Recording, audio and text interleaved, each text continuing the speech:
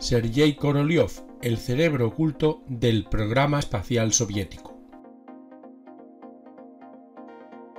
Desde el final de la Segunda Guerra Mundial hasta la disolución de la Unión Soviética, tanto esta última como Estados Unidos se enfrentaron en diferentes campos político, económico, social, ideológico, militar o informativo para ver cuál de las dos saldría victoriosa.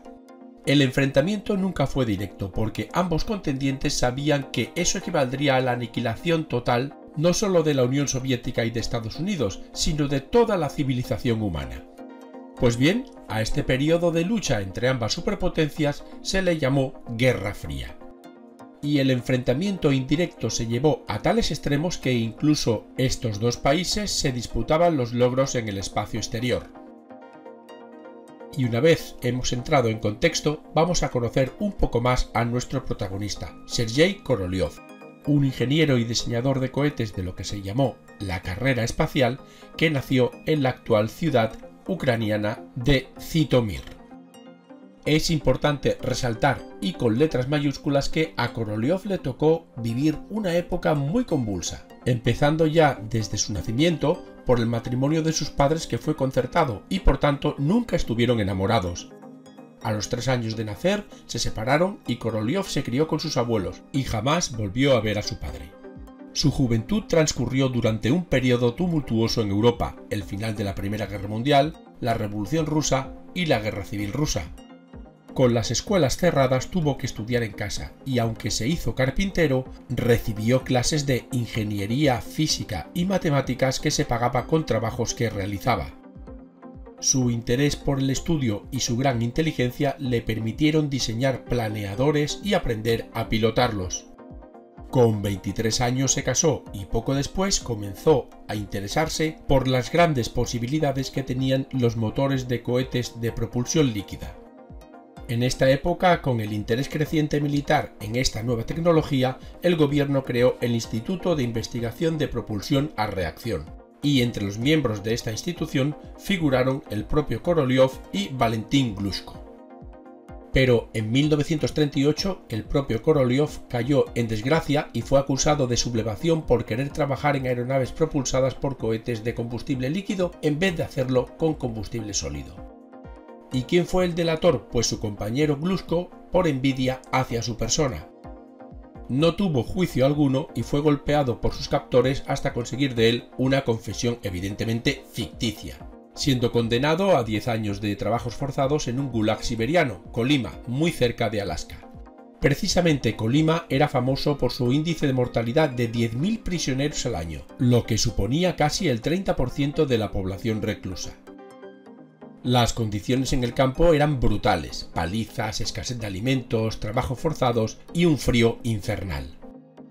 Pero tras revisar su caso y debido a sus conocimientos en cohetes le conmutaron la pena. Había sobrevivido al gulag pero sufrió secuelas como la pérdida de dientes, una fractura de mandíbula y una enfermedad cardíaca.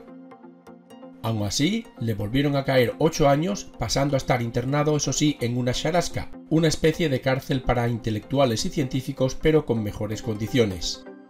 Allí colaboró en el diseño de los bombarderos Tupolev y el caza Ilushin.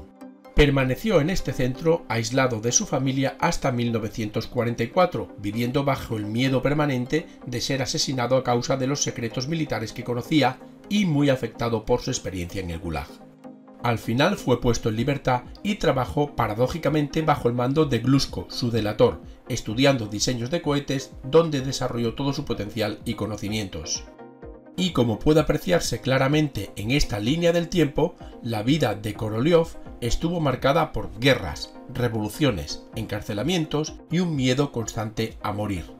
Una vez acabada la Segunda Guerra Mundial, fue destinado a Alemania para recopilar información del cohete nazi V2 y se basó precisamente en esos datos para las mejoras que realizó en sus proyectos de cohetes balísticos. Hay que tener presente que, aunque las fuerzas soviéticas fueron las primeras en entrar en Berlín, los norteamericanos llegaron antes a la base de Pinamunda, al nordeste del país, donde Werner von Braun y su equipo desarrollaron los programas de la V1 y la V2 los americanos se llevaron a von Braun, a casi todos los científicos y a gran parte de las V2 que no alcanzaron a ser lanzadas. aunque algunos modelos que quedaron y un pequeño grupo de ingenieros cayeron en poder de las manos de los rusos, siendo incorporados a los proyectos espaciales soviéticos. Y a partir de ese momento, la lucha por la supremacía espacial estaría representada por estos dos personajes, Korolev por parte de la Unión Soviética y von Braun por parte de Estados Unidos. Debido a la Guerra Fría, Korolev recibió suficiente apoyo del gobierno para que los soviéticos fueran los primeros en lanzar un satélite. El resultado fue espectacular y en menos de un mes logró desarrollar el Sputnik, el primer satélite espacial, y poco después el Sputnik 2, con la perrita Laika como tripulante. Pero el verdadero objetivo de Korolev era llegar a la Luna con una nave tripulada.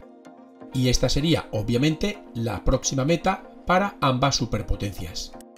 Y el primer paso para conseguirlo fue en 1961, con el programa Vostok. Mediante este logró poner en órbita a Yuri Gagarin, el primer hombre en el espacio. Y poco después, es decir, transcurridos escasos dos años, consiguió que Valentina Tereskova fuese la primera mujer cosmonauta con el Vostok 6 y con estas tres grandes hazañas la Unión Soviética le había asestado un golpe muy duro a Estados Unidos en la carrera espacial. Un apunte muy importante es destacar que tanto Yuri Gagarin como Sergei Korolev se tuvieron siempre mutuo respeto y gran admiración. Y por si fuera poco, con el programa Voskhod, la Unión Soviética consiguió el primer paseo espacial de un ser humano. Hasta ese momento Estados Unidos siempre había ido detrás de su contrincante en la carrera espacial. La siguiente frontera era poner un hombre en la Luna, y Estados Unidos no estaba dispuesto a perder, y para conseguirlo dedicó ingentes cantidades de dinero. Los norteamericanos no sabían quién era el cabeza visible de todos estos logros espaciales. La actividad de Korolev era tan grande que diseñó incluso el inmenso cohete N-1 para llegar a la Luna, trabajó en el diseño de la nave Soyuz y en los vehículos Luna, que aterrizaron con suavidad en el satélite, además de misiones no tripuladas a Marte y Venus pero a partir de 1960 la salud de Korolev comenzó a deteriorarse. Su organismo estaba revelando las penurias sufridas en los campos de concentración del régimen y tenía problemas cardíacos, renales y finalmente un cáncer de intestino lo envió a una intervención quirúrgica.